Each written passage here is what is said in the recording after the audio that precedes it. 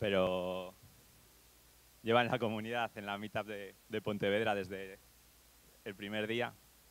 Así que muchos ya lo conoceréis y si no, cuando vengáis a, a la meetup, allí estará. Es un consultor SEO, ayuda a empresas y a profesionales a destacar en Google. Y bueno, sé que todos tenéis curiosidad por esta charla, así que darle un aplauso que se estrena y ánimo.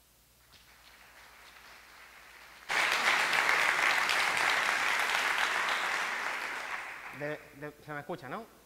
De verdad que muchas gracias a todos por venir.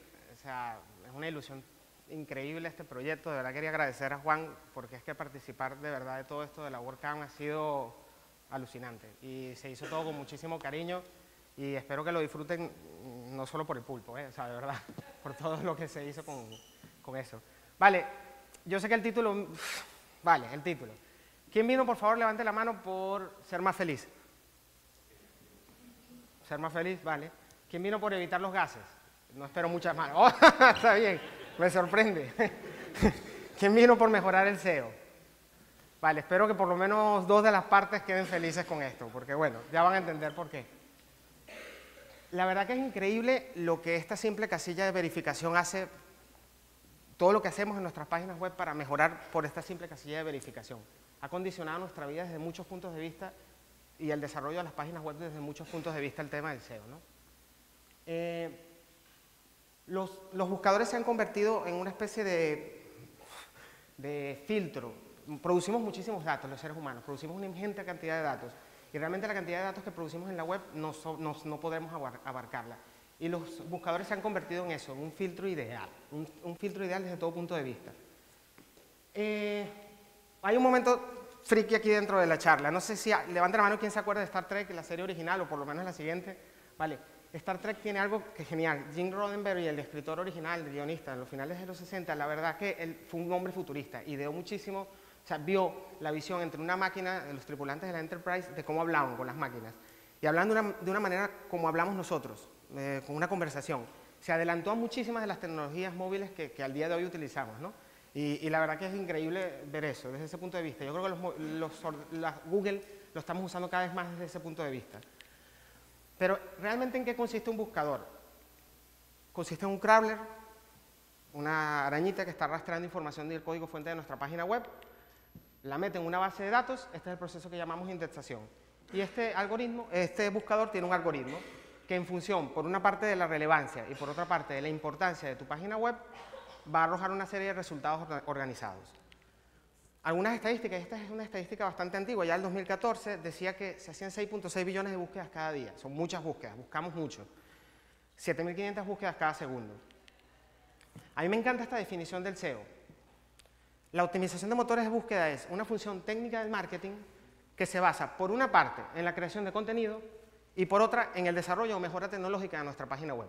Yo les voy a hablar realmente de la primera parte, lo que es una parte un poco más abstracta, más teórica, que es la, creación de ese contenido.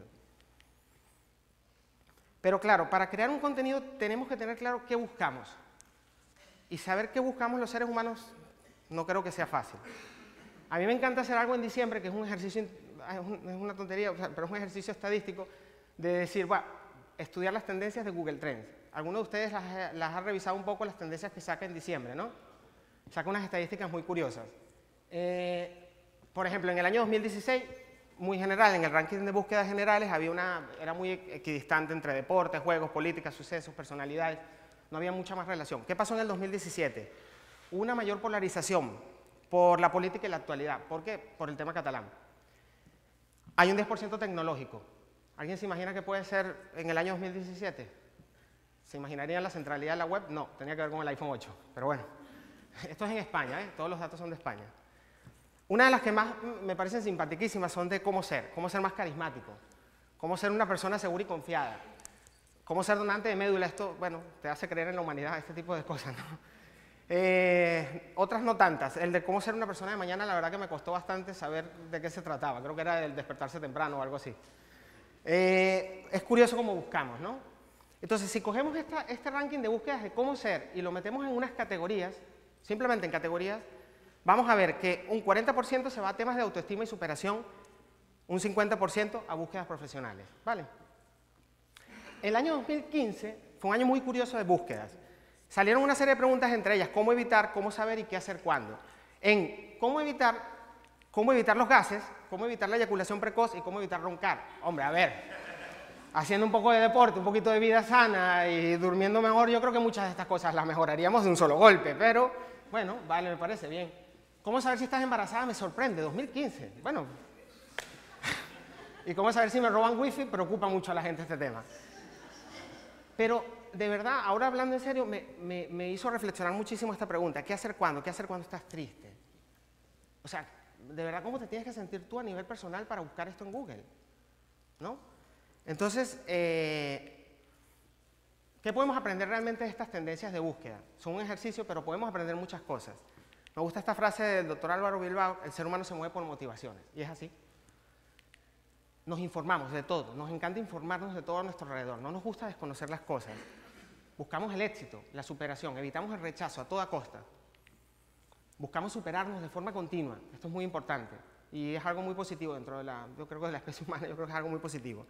Mejoramos nuestra autoestima de forma constante, pero sobre todo conectar. Conectar con otros seres humanos.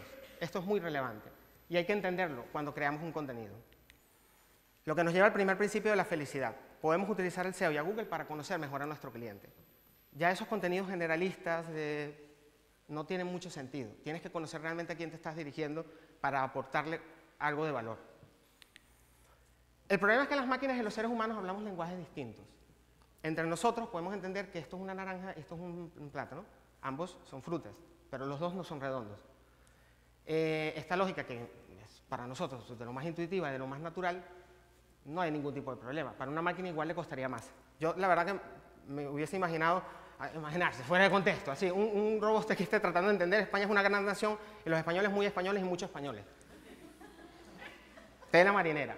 Entonces, ¿por qué? Claro, porque existen unas connotaciones culturales y lingüísticas que entre nosotros no hay ningún tipo de problema, pero a nivel de un buscador es otra cosa.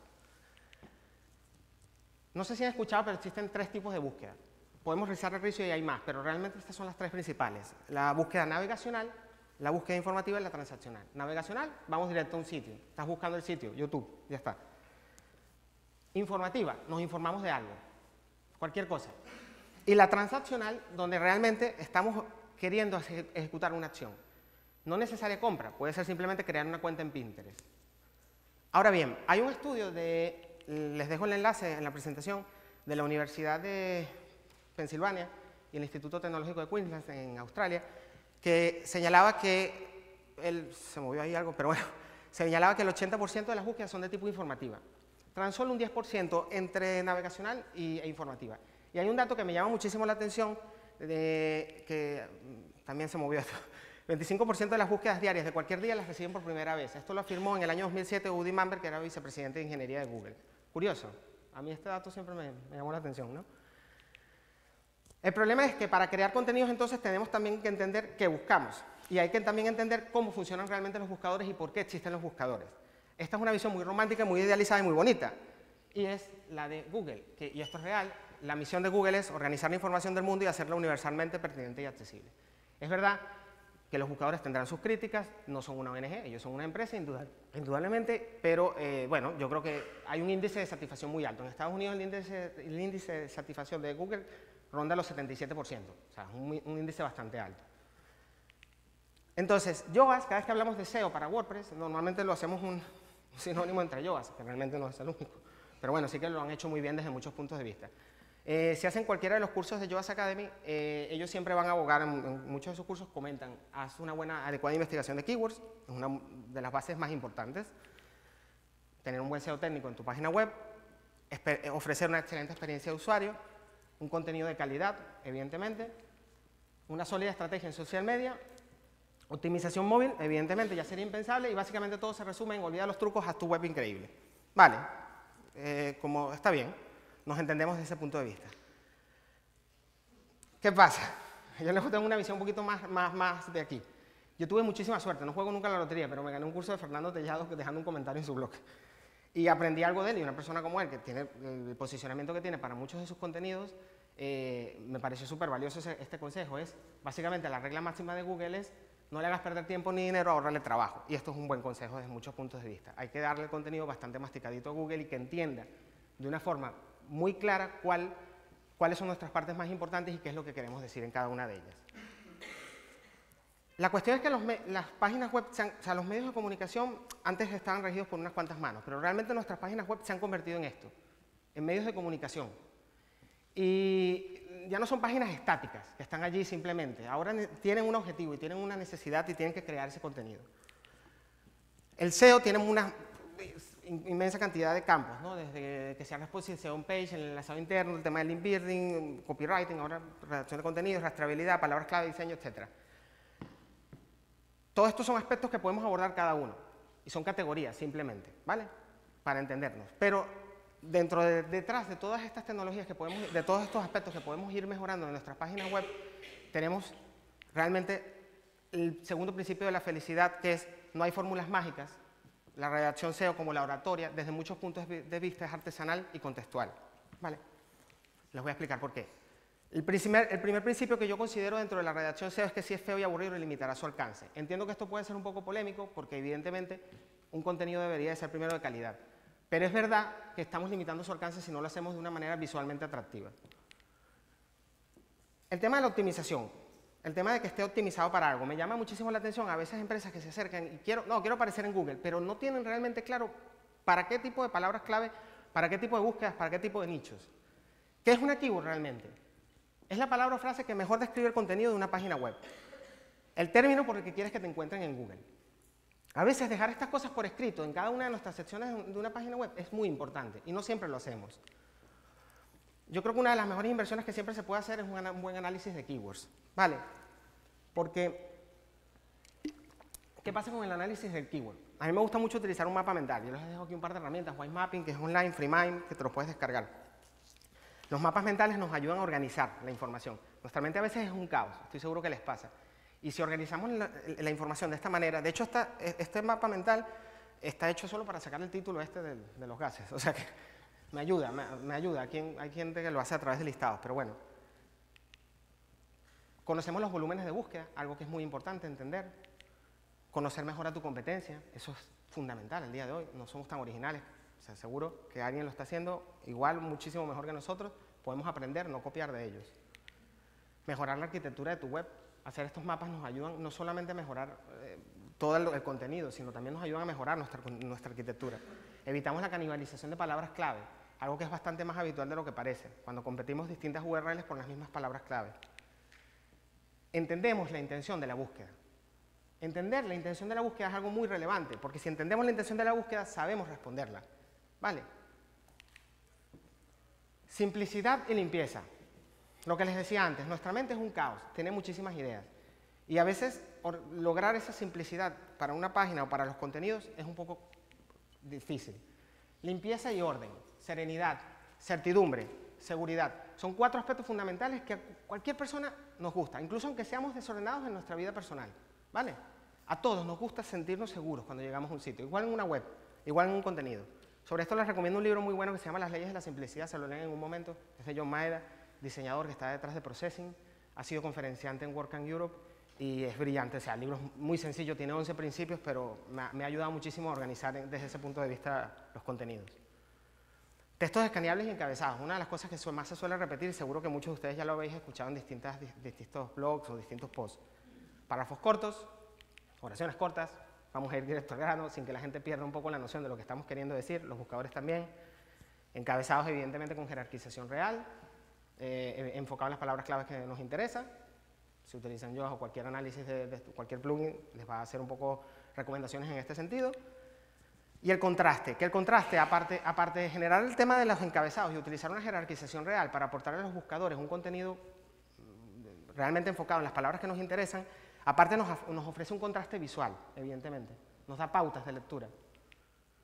Igual que las imágenes, las imágenes ya está además dicho el tema de los atributos alt para que Google sepa de qué se trata, pero a veces un espacio vacío es un espacio para la calma y la serenidad.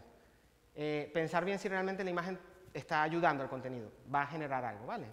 Va a aportar algo a ese contenido. Lo mismo que el, el título, el title. Eh, los títulos, bueno, por la charla ya saben que a mí me gusta hacer un poquito con el, eh, buscar las cosquillas con los títulos, pero bueno, básicamente se puede resumir en ser breve e inteligente y enfocado, evidentemente, en las palabras que nos interesan.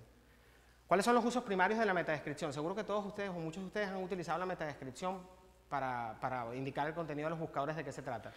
Básicamente que escriba de forma sucinta el contenido que tiene esa página web, que sirva como un texto publicitario para que los visitantes hagan clic en tu web y mostrar las palabras clave a las que te enfocas, no por propósitos de ranking, que ya está más que demostrado que no tiene más mínimo sentido, pero sí para indicar el contenido a tus visitantes. ¿vale? ¿Cuáles son buenos consejos dentro de las búsquedas, dentro de las redacciones de, las metadescripciones? Decir la verdad, ser directo, irresistible e informativo. El tema de la psicología, que es algo muy abstracto, que les voy a hablar algo un poquito, y, e incluir palabras clave. A ver, el tema de los enlazados. El tema de los enlazados también seguro lo han escuchado dentro del mundo del SEO. El tema de los enlazados sigue siendo muy importante y creo que lo seguiré haciendo durante mucho tiempo. Eh, lo que es importante entender es como una botella de agua, ¿no? Está vacía, va llenándose de links que van sumándole peso a esa botella de agua, ¿vale? Lo importante de entender este sumo de popularidad, como lo llaman algunos autores, como Fernando Macía, otros, es que básicamente esto no solamente funciona para las de otras webs externas a la tuya, sino también para tus propias webs internas. Entonces, evidentemente, evitar finales muertos, tomar en cuenta que los rastreadores, básicamente, los, buscadores rastrean toda la información a través de los enlaces, aparte, creas un contenido enlazado a otras distintas secciones de tu web con un poquito de sentidiño, por supuesto, y refuerzas el contenido de tu página a través de citar otras webs, porque tú no estás aislado en el mundo, evidentemente. Me refiero a, a páginas externas. ¿Cuál sale mejor, la primera o la segunda? Vale, eso porque básicamente no, hay mucho que decir, evidentemente. Eh, los distintos tamaños de las letras nos dan pautas de lecturas mucho más rápidas, no tenemos que pararnos en cada una. Todavía he visto que se siguen utilizando a veces las mayúsculas para dar mayor carga semántica, evidentemente no tiene sentido, podemos utilizar simplemente el, el, marcado en HTML, las negritas, el strong, para, para indicar esa, esa, carga realmente de las palabras que nos interesan, o los encabezados. Esta diapositiva hace alusión al, al, famoso libro de Steve Croft de No me hagas pensar, eh, evita la incertidumbre. Yo creo que esto es un buen consejo de evitar la incertidumbre en una página web, no solamente para los buscadores, sino también para el usuario, evidentemente. Más para el usuario, evidentemente. Y el tema de la psicología. El tema de la psicología es un poco un tema más vago, más teórico, pero es un tema que se puede abordar. Creo que hay, hay que hacer algunos ejercicios mm, y plasmarlos en papel. Vale, les voy a dar algunas historias. A ver, si utilizamos herramientas gratuitas, ya no estoy hablando de herramientas de pago dentro de Google, ustedes pueden hacer un análisis de keyword por ustedes mismos con herramientas como el Keyword Planner de, bueno, Google Ads ahora, no Ads, pero bueno, o mismo Google Trends y, distintas otras herramientas que podemos utilizar. Estudiando bastante bien a la competencia y hacemos un buen análisis de, keywords, podemos elaborar unos listados con unas intenciones de búsqueda. Esos listados y esas intenciones de búsqueda nos pueden permitir crear un perfil de cliente ideal. Este perfil de cliente ideal, ¿ustedes han hecho, alguien ha hecho un mapa de empatía? Levante la mano, ¿quién ha hecho un mapa de empatía alguna vez? los mapas de empatía son muy útiles dentro del marketing, ¿vale? Seguro que ¿Qué ve? ¿Qué sienta tu cliente? ¿Qué piensa? ¿Qué dice? ¿Qué hace? ¿Dónde le duele? ¿Por qué está entrando en tu web? ¿Qué está buscando en tu web? Básicamente, si hacemos estos mapas de empatía, podemos tener perfiles bastante claros de la persona a la que te estás dirigiendo y que el contenido esté enfocado en esas personas y en su comportamiento. Para esto hay un libro que me rompió varios paradigmas, que era eh, de Natalie Nahai, está en inglés, eso sí, este, que se llama Web Influence, la, psicología de la persuasión online, de Psychology of Online Persuasion. La conocí allá en el Inbounder, en Valencia, hace cuatro años, aquí en, en el Inbounder. Y, la verdad que él es un libro increíble porque utiliza factores culturales, factores psicológicos, desde temas de colores a temas de contenidos, de cómo adaptar esos contenidos realmente a, los factores culturales que pueden haber detrás de, la sociedad. ¿vale? ¿Por qué un artículo bien escrito? Básicamente porque va a disminuir la tasa de rebote, va a ofrecer mayor confianza, evidentemente, se va a compartir bastante mejor en redes sociales y de cara a los buscadores, esto denota también un poco mayor, mayor de cuidado editorial. Sea, una web que esté llena de errores eh, igual puede denotar cierto descuido de parte de, los editores. Evitamos la inexactitud temporal. Yo sí que yo entiendo la parte esta del green content y que quites la fecha. Yo no me abogo mucho por eso porque, bueno, dependiendo también de cada caso, ¿eh? hay casos de casos, hay casos que los entiendo que se hagan. Pero bueno, y, y, también el tema del pasado, presente y futuro. Cada vez que lo utilicemos, que lo utilicemos de una manera correcta, que entendamos en qué tiempo verbal estamos hablando.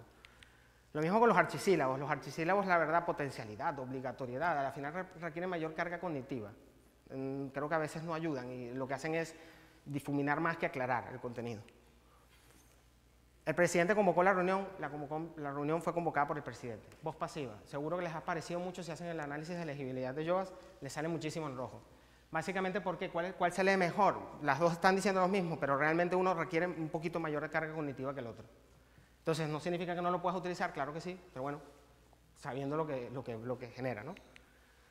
Y seamos positivos. Seamos positivos, ¿por qué? no es porque me haya vuelto hippie, ni muchísimo menos, pero no sé, el cerebro humano entiende mejor en positivo que en negativo. No, no, no, no sé la razón biológica, neurológica de esto, pero es así. Entonces nos ayuda un poco. Yo creo que hemos pasado. Ah, bien. vale, entonces hemos pasado realmente dentro del modelo de centralidad del producto, que antes, en los años 70, 80, todo estaba muy enfocado en el producto, como Apple, como los productos Apple, a realmente un modelo centralizado en el cliente donde nuestra web no tiene sentido abarcar a grandes audiencias, no tiene sentido abarcar a todo el mundo, sino que es más importante segmentar, realmente ir a las personas que realmente nos interesan y crear ese contenido adecuado para ellos. Lo que nos lleva finalmente al tercer y último principio de la felicidad, que es eh, practica y mucho. Yo creo que no queda otra opción. Realmente dentro de la redacción tienes que escribir, escribir, escribir, escribir. No hay otra opción y leer mucho, evidentemente haz vida sana, come bien, hacemos deporte, evitaremos bastante el tema de los gases, pero lo lograremos. De verdad, muchísimas gracias a todos por venir. Eh, ah, gracias. Ahí tienen mis webs. Eh, por mi nombre ya se imaginarán que no suelo tener problemas de dominios, o sea que menos en, Twitter un listillo que se me adelantó que algún día... Y gracias a Giphy Pizza y un Flash por, las fotografías utilizadas para la presentación. Así que, cuando quieran.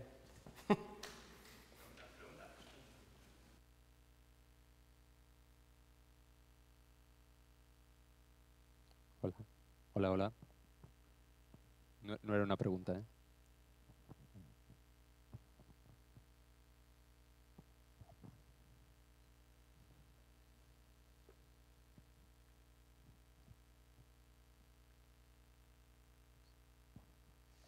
Hola, em, yo quería preguntar por un aspecto que ponías antes, que era... Hola, sí, vale. Quería preguntar sobre un aspecto que, decías antes, que es evitar la canibalización de las keywords. Sí, Quería saber más o menos a qué, quería referir con eso.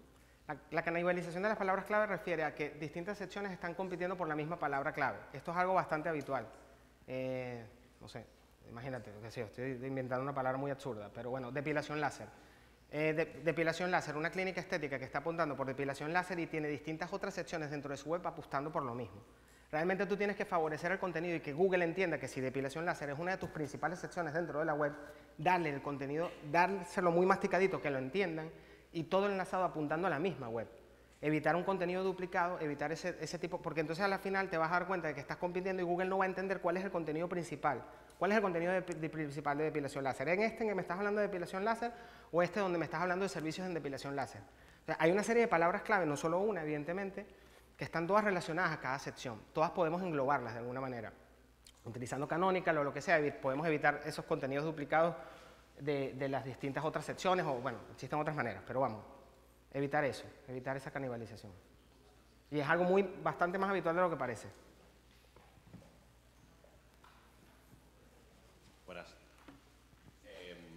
cuanto al tema de la competencia empresas, ah, ¿qué recomendarías para favorecer el SEO de la tuya, lógicamente, respecto a las otras? ¿Utilizar las mismas keywords o intentar...? No. Ahí tú tienes que compensar, yo siempre pienso que en eso tienes que compensar y estudiar primero, ¿no? Imagínate tienes la competencia, eh, tienes 10 listados de palabras clave. Tú tienes que compensar en función de la idoneidad de tus servicios si tienes que competir por esas mismas palabras clave. Si tú tienes que competir por ellas, lo vas a tener que hacer. No obstante, creo que puedes intentar, por ejemplo, conseguir variaciones que te podrían traer mayor tráfico. Todo dependerá un poco de los volúmenes de búsqueda que hayan.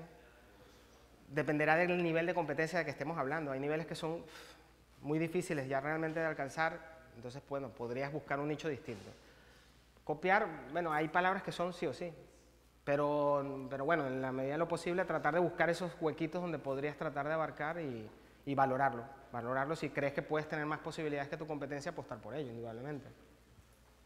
Y perdona, una segunda. Eh, has centrado mucho la, ponencia en cuanto al- a la redacción, pero me gustaría saber también eh, qué peso le das al web performance y qué peso le das al- a, la redacción de contenidos en sí, para el tema del SEO. Dependerá del presupuesto, básicamente. Vale, claro, porque es que, a ver, yo creo que el contenido es el corazón, desde muchos puntos de vista. Ahora bien, evidentemente, si tienes una serie de problemas técnicos que te, te van a afectar la web, da igual el contenido que sea muy bueno, muy bueno, muy bueno, muy bonito y todo lo que tú quieras, muy optimizado, que no te va a valer de nada, porque si vas a tener una serie de problemas que te van a ir restando puntos. La cuestión es que, bueno, dependiendo del presupuesto y que puedas ir invirtiendo en ir mejorando ciertas cosas. Evidentemente existen ciertas cosas que se hacen inicialmente, que son temas de rastreabilidad, temas de contenidos duplicados, mm, las típicas, los típicos protocolos básicos de sitemap, data, y tal, pero son protocolos que empiezas a implementar y, y después de allí vas midiendo, dependerá de las condiciones de tu servidor, por ejemplo el tema de la velocidad, dependerá del tipo de la web, no sé, es que la web, cada web es un mundo y habrán webs muchísimo más complejas, muchísimo más grandes, webs mucho más pequeñas y mucho más sencillas que se pueden gestionar de una manera más automática.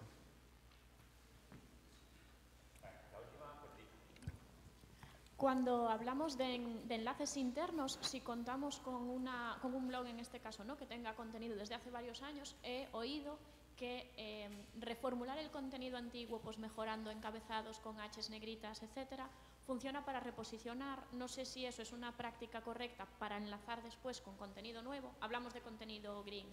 O realmente es un esfuerzo, diríamos, inútil a ojos de No, Google. No, no, tú puedes, no, no, no. Siempre que vas a mejorar algo, no creo que sea un mal- una mala política, para nada. Una web siempre es una mejora constante. O sea, que si tienes un contenido antiguo que ves que evidentemente, porque esto es muy habitual además, o lo típico, de que te pones a crear categorías a lo, a, lo, a, lo, bestia y no tiene más mínimo sentido, de repente no hay una estructura clara de cuáles son las categorías más importantes que debemos implementar y el enlazado a cada una de ellas, Sí, indudablemente es una mejora, es una mejora. Da igual que el contenido sea antiguo. A ver, habrá contenido que tú podrías valorar y si es muy antiguo y ya no tiene ningún tipo de valor para el usuario, lo puedes eliminar, indudablemente. No considero que sea malo eso. Cada caso, todo depende, pero cada caso. Pero no, genial. O sea, es una mejora, así que genial. Adelante. Vale, muchas gracias. Que disfruten la webcam.